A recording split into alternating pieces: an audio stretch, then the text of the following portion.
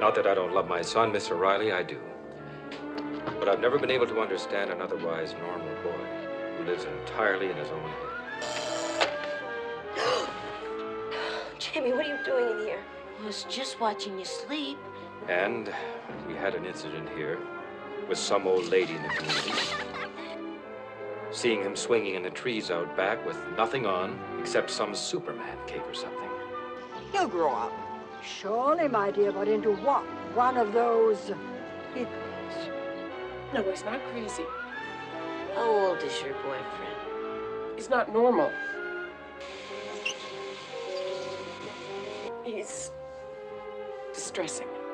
I think I'm gonna tell her about the things. The secret? Careful, Jamie, careful. I know where there's a huge hole in the ground. Big hole in the ground?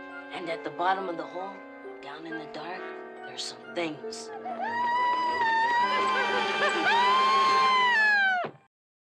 We know some awfully nasty people, don't we?